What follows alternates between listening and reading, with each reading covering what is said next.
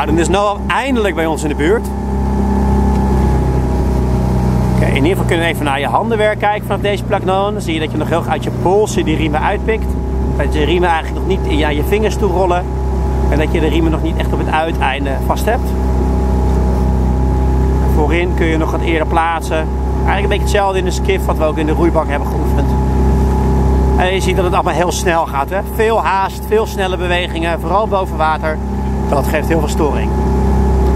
Oké, ga er maar naast.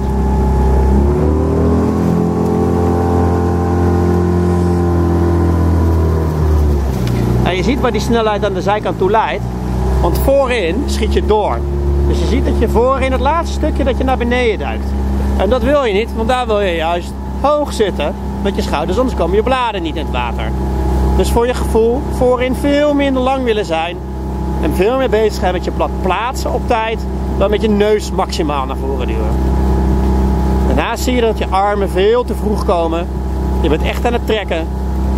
Wacht gewoon tot het einde van je haal. Die armen die komen vanzelf.